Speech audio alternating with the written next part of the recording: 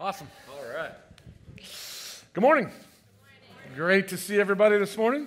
Uh, I want to take you back uh, 43 years tomorrow. So it was 43 years ago tomorrow that I had uh, purchased a ring, had it in my pocket, was not a half carat ring, was not a quarter carat ring, was not an eighth carat ring, it was not a tenth carat ring. It was called a speck diamond. That's what it's called. I had this, had this ring, and I went to Dowagiac Hospital, Lee Memorial Hospital. Um, that's where Lori was working. I was, uh, I was 17 years old, and I went down into the cafeteria. I want you to imagine this cafeteria. You ever been to those cafeterias where the tables they pop up like this and you store them away and then you can bring them out? That's where those tables all over the room, white walls. It was a rough looking place. And uh, Lori had a break, so during her break, she comes down and uh, I get down one knee and I ask her to marry me. Now, we are talking about the marvel of marriage. And the first thing I want you to know is how it begins is not how you create the marvel of marriage. But I do believe that Lori and I have discovered a lot about the marvel of marriage. That marriage is an incredible, amazing, something that God has created. And I want you to understand those principles. I want you to be able to interact with God's word. I want you to interact with God about how does, how does that happen? How do you experience the marvel of marriage? And so you may be thinking, marvel of marriage. Uh, matter of fact, somebody saw the poster and they're like, I don't think people understand that. Like, what is that? Is that even possible? Uh, you may be thinking it's along these lines. A couple verses. Number one, better to live in the corner of the roof than share a house with a quarrelsome wife.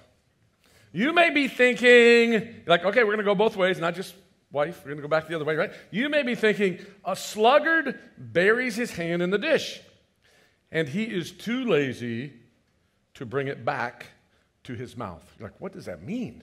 It means you're so lazy you can reach for the food, but you can't get it back. And so, you may have called your husband lazy in many times in the past. Here's a great verse, right? You want to pull this one out? This is, this, this is very descriptive.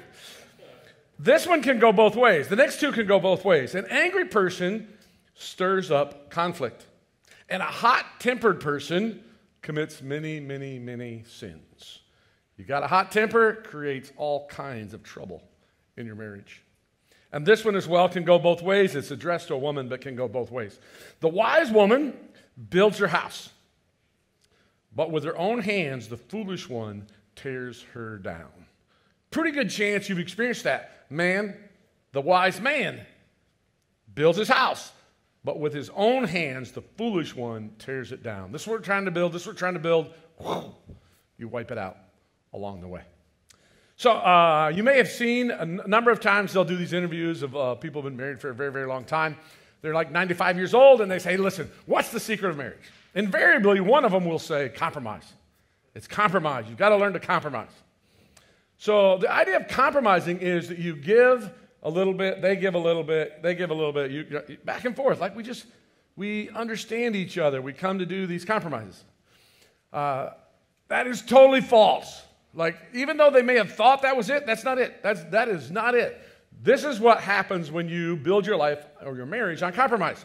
You get a calculator.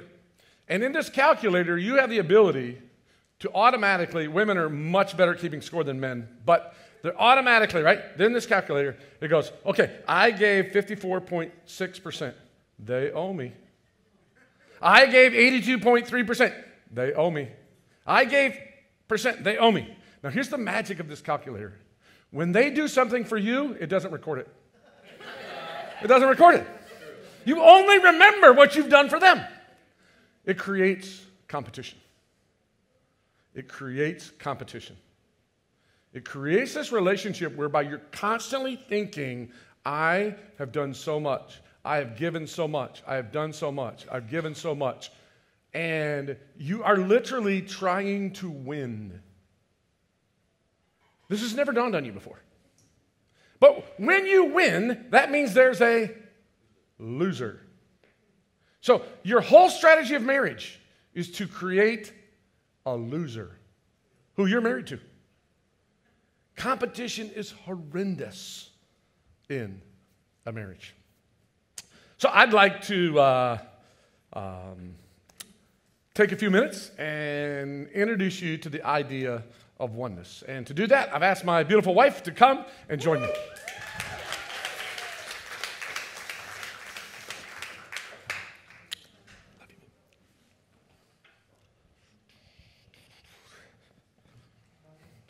It, it, helps in marriage if you have servants who bring you out chairs wherever you go.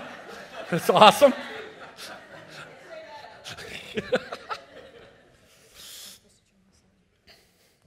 you don't have to touch it. The magic men upstairs, they take care of it. Nope. Nope. You can always trust those guys. You turn me okay. Uh, so, first question What do you love about being one? I can't remember what I said last service. It doesn't matter. what I love about being one, especially with this man right here, is that I never feel like I'm alone. No matter where I am, I always feel like he's going to be there with me, even though he's not there. I feel like I can call him anytime. And if you've ever been in a meeting with him, you know that sometimes I will call at any time. but no matter what, I feel like he's there with me even if he's not physically there, he's there with me. Awesome.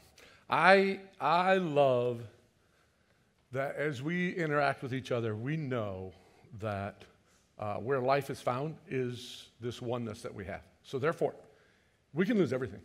We could lose every dime we have. We still have each other. It means we can build from that place. It's an amazing experience to live knowing that who you are and what you need is in us together. Now, I don't mean it's in her, right? It's not in her and it's not in me. It's in us. Like we are one. And so, no matter what happens to the circumstances around us, outside of us, we know we have this oneness. We can start absolutely all over and build from the bottom. And we have. He's yeah, we have a couple times. Yeah. Um, how, this is a little tougher. How would you describe oneness.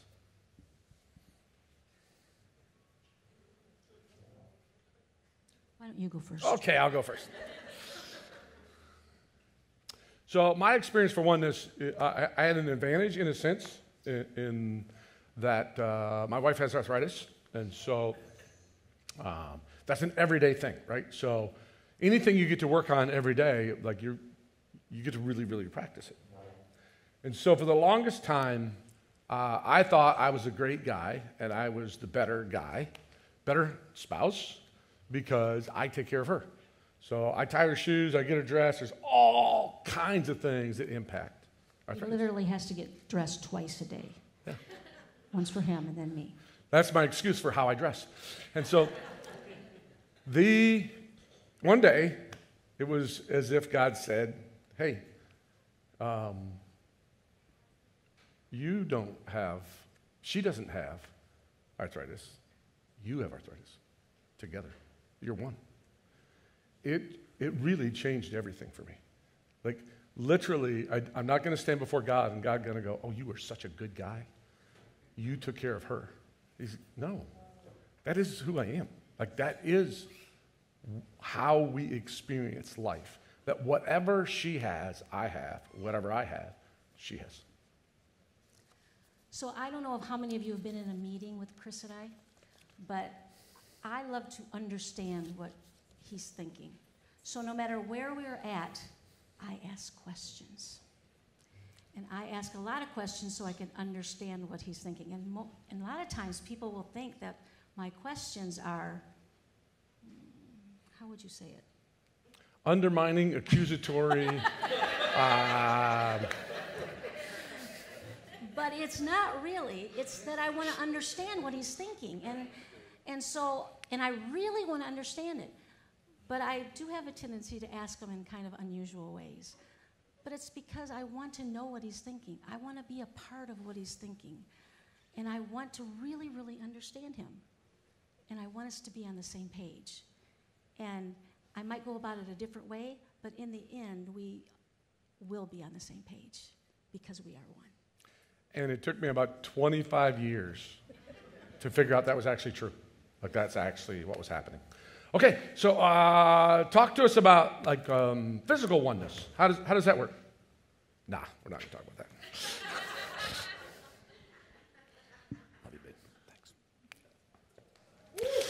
All right. That picture of oneness, spiritual, emotional, and physical oneness. Now, we're going to jump into this passage. This is our, our main passage for the series, and it's our passage for today. Fairly short. It's this that at the beginning, the Creator made them male and female, and said, For this reason, a man will leave his father and mother and be united to his wife. Now, the first principle is this marriage is not a political issue, it's a moral issue. Now, I don't really care where you are politically, but this is really important. Because for the last 15, 20 years, you have heard over and over and over again that marriage is a political issue. It is not a political issue, it is a moral issue. You were created, men, as men, and women, you are created as women so that you could experience oneness, so that you could experience coming together as one. God created marriage. The government did not create marriage.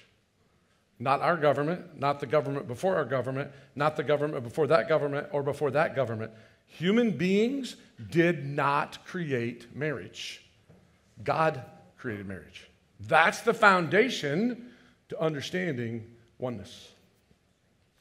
It goes on to say, and the two will become one flesh. You're like, okay, I understand that. Um, that's the idea of physical oneness. Um, don't have to, hopefully, don't have to teach you about that. If, you know, if I do, then I can talk to you afterwards if we need to. But that, you, you get that. But he, he's, he goes farther. He goes this so they are no longer two, but one. They are no longer two, but one.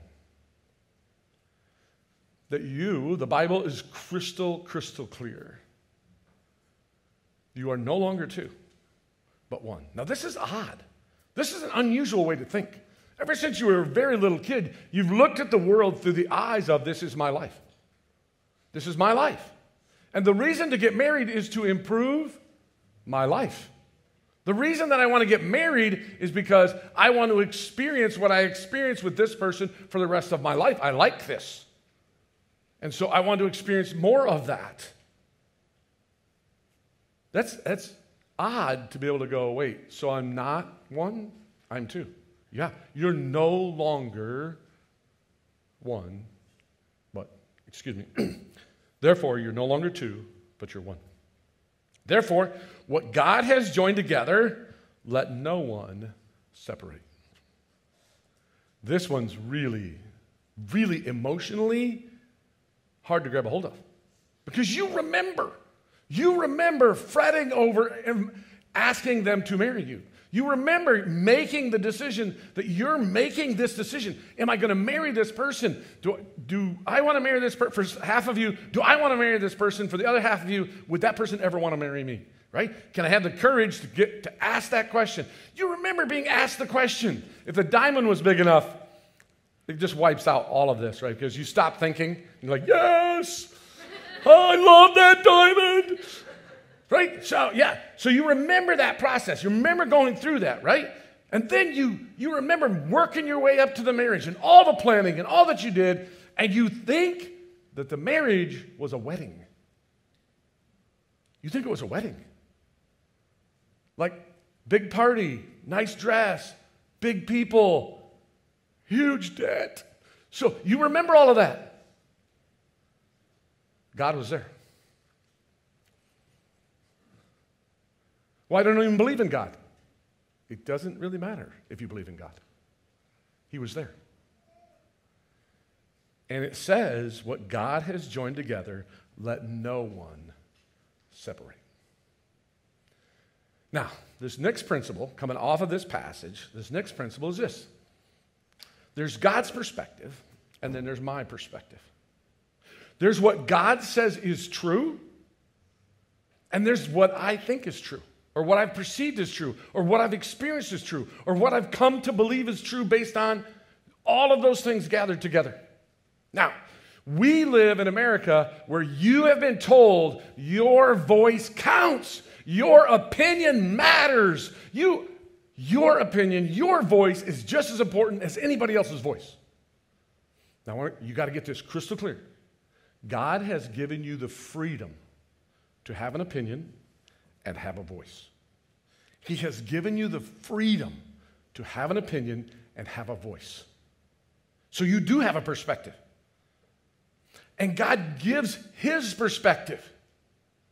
Here's the deal your perspective, when it competes with God's perspective, is wrong. It's dead wrong. God has never been wrong. Now, as we work our way through this, this isn't about whether or not you're right or wrong. This is about whether or not you want to have the marvel of marriage. You're welcome to go on down the road going, I don't care what God says, I'm going to do what I want to do. You will never get to stand in front of a group of people and go, the marvel of my marriage. Because God's perspective is what leads to the marvel of marriage. It, this principle we're going to work our way through throughout the series. It's going to come up time and time again. So, uh, have you ever kicked a boulder? Have you ever kicked a boulder? Have you ever been really mad and punched something? Grew up on a farm. We used to get mad from time to time. You'd like punch a tractor, punch a corn picker. It hurts. It really hurts. Guess what? When you get mad, you're like, I'm so mad, and you kick a boulder, right? Your perspective is wrong. Every time you kick that boulder, it hurts. You kick the boulder. This is how crazy we are. You kick the boulder to make yourself feel better. You really do. I'm going to I'm to take this out. I'm the boulder. Man, does it hurt. It hurts every time. When you say God has a perspective, but I have my own, you're free to have that. But you're kicking boulders. You're going through life kicking boulders. The opposite of that is riding a wave. How many of you are surfers? Here's a surfer. Awesome one. I'm a surfer. I've been surfing. I've surfed many, many times. I've gotten up three times. So here's, here's the thing with, with waves. You paddle out in the waves, and you're like, I'm going to take the wave. I'm, I'm, I'm strong enough. I can do it. I'm going to beat the wave. That's what I'm going to do. And so the wave comes, and then you're like paddling like crazy, paddling crazy, paddling crazy. The wave goes by. Or the wave comes, you paddle like crazy, paddle like crazy, paddle like, and the wave just, it comes underneath the board and flips you over, right? Because when the first time, like the, the wave wasn't big enough. The second time, oh, it was big enough. It was too big. It, it beats you. The great surfers, they don't fight the wave. They don't battle with the wave. They get to know the wave. They literally get to know the wave. They sit there and they watch them and they watch them and they watch them and they're like, that's the one. And the old guys, I, I just can't stand these guys. These old guys go, one, two, three, they're up. What's the deal? They rode the wave. They said, Yeah, I can have a perspective about the wave. I can have my thoughts about the wave. I can have my experiences with the wave. That doesn't matter. What matters is what the wave is and who the wave is. The wave's perspective is always right. The wave never changes for you. You never watch surfing videos and the wave just goes, Oh, I see that guy. Yeah, let me turn. It never happens. Always you learn to ride the wave. And throughout this series, we're going we're to use this terminology. Are you kicking the boulder? Or are you, riding, are you riding the wave? Are you kicking the boulder or are you riding the wave? So, what's the four things we saw from that passage? Here's four things we're going to grab a hold of uh, from, from that passage. Number one is this God created you with the ability to experience oneness. God created you with the ability to experience oneness. God created them male, female, so that he would leave his family and unite with her. There's a really good chance in your marriage that you believe because of the person you're married to, you can't experience oneness. That's a lie. It is not true. It may even be that because of you, sins you've committed in the past, habits you've developed in your life, things that you think have become so much a part of you they could, they could never get, you could never get rid of them. Therefore, you could never, and they're devastating to oneness. They're destroying oneness. You're like, I don't think I could ever, I could ever get there. What's really common is for people to believe, yeah, there's, there's like this level one marriage, and then there's a level two, three, four. Let's just settle, man. Let's just accept. We're all, all we're ever going to have is a level four. Let's just become roommates. Let's get really good at communicating. By the way, if you think the number one problem in your marriage is communicating, no, it's not. It's not. Great, great communicators that only communicate, you know what they do? They become great roommates. They very much understand these are your responsibilities, these are my responsibilities. And you just live together undivorced. And so you, think all we can ever have is a four. That's not true. You were created to experience oneness.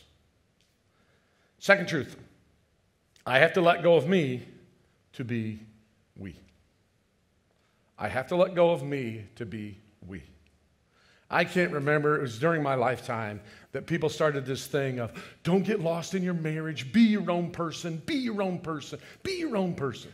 That's a level 18 marriage. It's terrible advice. It is terrible advice. Oh, I think I got lost in my marriage. No, that's, that's, that's bad advice. You know, did you hear what it said? It said, listen, therefore, he will leave his father and mother. He will leave his identity that comes from his family that he grew up in. She will leave her identity from the family she grew up in.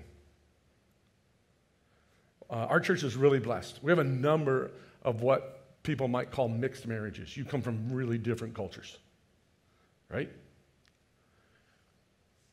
You better let go of that culture. You better. I am first and foremost Dominican. You better let go of that culture.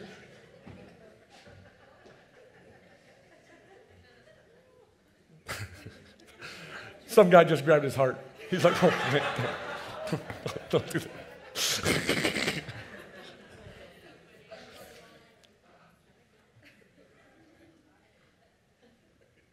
See, it's true. You can't become we if you are going to grab a hold of something outside of what God says is true.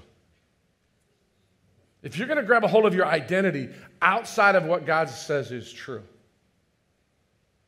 if your parents or your sister or your family that you come from is more important than the person you're married to, you're, you're kicking rocks. You're kicking boulders. And you can go to all the marriage counseling you want. You're just going to keep kicking boulders. It, it, it's, it's beautiful and it grows because once you start letting go of that stuff, you find out that oneness is way more beautiful, way more valuable. What an incredible experience compared to no, we are two different people trying to make it in the same house. Number three, the marvel of marriage is oneness. It is. The marvel of marriage is we are one. I said it earlier, I want to say it again. Because this is absolutely true.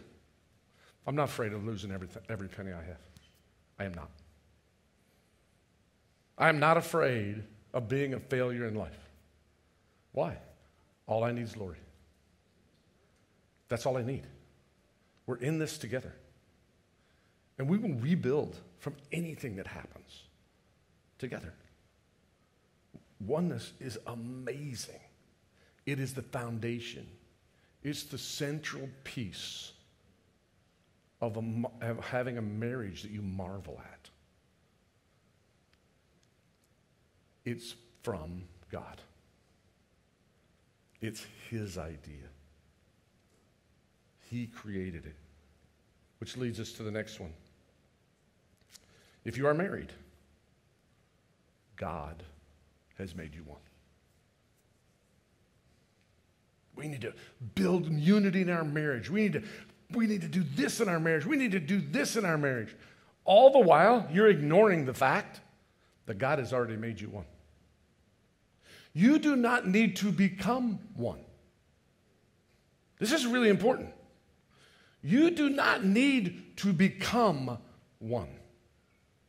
You don't have the power to make yourself one. You need to recognize that God has said what is true and live from there instead of kicking boulders. You need to come to know what God says about oneness, how He describes it, how you experience it, how you practice it, so you can ride the wave. There's wave after, that's one of the really cool things about surfing, which is if you miss this wave, they never stop coming. You just go back. And the guys who are great surfers, that's what they've done. They just keep going back and they learn more about the wave. They learn more about the wave. They learn more about the wave. God has already made you one. The reason you're not experiencing it is because you're at war with God. You think you're at war with your spouse. You're not. Oneness does not come from first and foremost the spouse, the husband, and the wife working on becoming one. You become one when you surrender to wait a minute, God knows what He talked about, God has created it.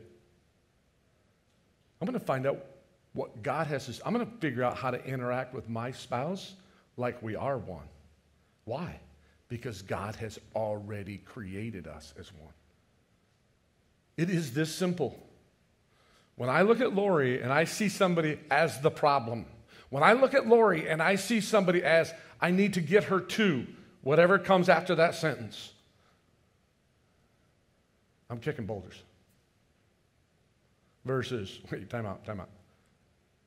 She's one with me. If she loses, I lose. Every time she loses, I lose. You tend to feel and naturally think every time we get in these situations, I need to win, I need to win, I need to win. You're at war with God. You're telling God, you don't know what you're talking about. Shh, God, I'm going to go kick boulders. That's what I'm going to do. Versus, no. No. She and I, we're we. We're one. And whatever step I take from this moment, however I handle this problem right now, I'm going to handle it based on the truth that God has already made us one.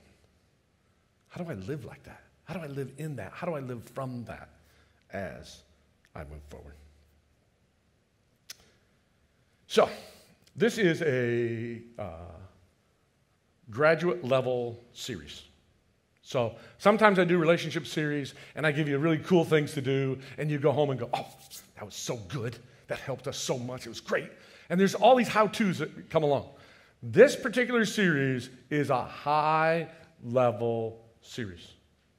This is, I'm introducing you to a principle that you do not get to go, oh, yeah, I got that. We're one.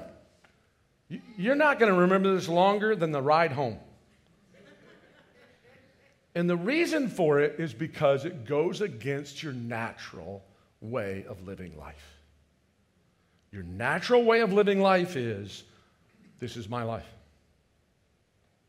and I, I am going to succeed or I am going to fail. You look at everything in the prism of this is who I am, this is my life. I'm going to prove I'm somebody, I'm going to win, I'm going to. Even though you're like, no, no, I'm very sacrificial, I'm very loving, and I'm very caring to my spouse. Yes, you are, and you think you're going to get points for it. Yes, you are. And if we could see your heart, your heart is going, whoa, I'm an amazing person. I'm incredible. That's not oneness. It's not. Some of you are really good people, but you're still all alone. You're still kicking boulders. Even though you're doing the things the Bible tells you to toward your spouse, you're not doing it from oneness. This, this, we're going to work through some tough stuff. Now, um, so that uh, you will, one, so you'll come back, and number two, so you'll feel like I got something out of it. Here we go. Uh, I'm going to give you a few put off, put offs. Like, how do we practice this, right? So here's a couple things. Spiritually, how do you practice this? Stop hiding your soul. Stop hiding your soul. Your spouse does not know you. Oh, no, they know what I think. They know, yeah, they don't know how you relate to God. They don't know about your battle with God. They don't know about your relationship with God. So, uh, how do you, how, spiritually, how do you do this? Super simple, super simple. Men, this is your job. Uh, you, once a day, take your hands, your wife's hand, and you pray God, help us practice the oneness you've already given us. That's it. Say those words. That's simple, right? That's easy. Oh, no, it's really hard. It's really hard. This is why it's hard. There are spiritual forces that don't want you to experience oneness. They want you kicking boulders. They know that if you experience oneness, it is the greatest path to your children succeeding for eternity. They know that. They don't want that. So, guys, for some of you, you're like, I, I don't think I can do that. That's embarrassing. Like, that's tough. Just sneak up behind her, look the other way, grab her hand, pray it real quick, God, and then walk away. just, just get out of there as fast as you can, right? Get her done, get out. Emotionally. Emotionally. There's something we call uh, I see and use. I see in you, you literally, it's an I and a C and an N and a U. But it means this is what I see in you. Right? And you don't have to do this every day. You can do this once or twice. Right? Sit down and write out the five things you see in the person that you're married to. Just write those out. This is what I see in you. This is what I see in you. And then say it to them and say, This is we. This is us. I see this in you, but it's us.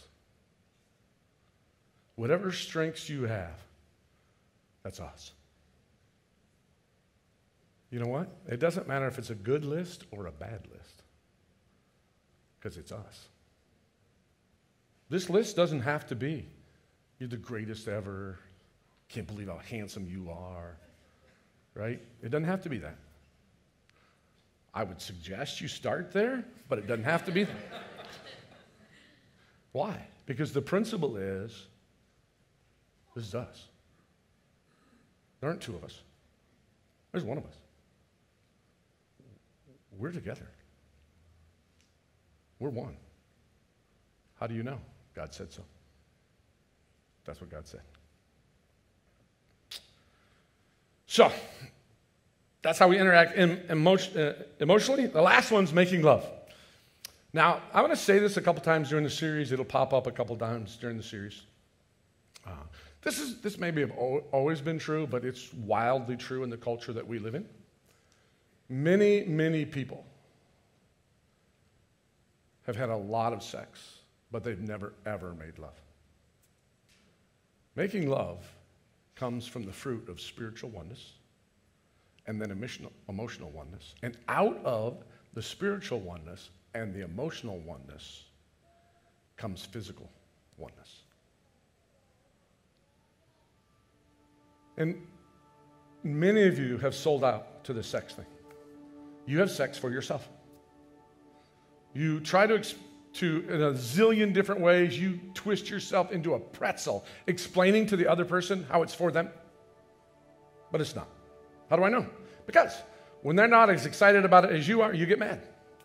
That means it's for you. Now,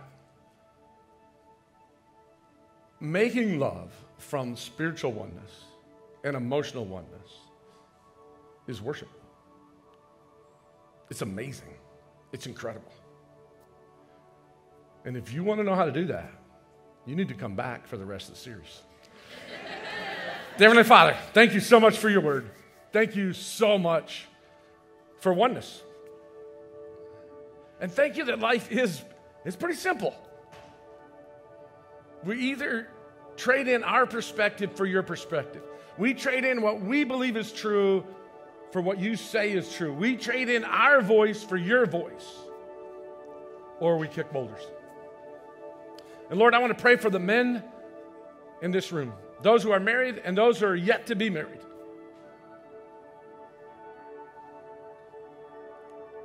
That they'll be able to look themselves in the mirror and be able to go, wait, wait, wait, wait, wait, wait. Whose perspective you living from, feeling from, responding from? That they would be able to go, God, I get it. The reason my foot is so sore is because I just keep kicking boulders.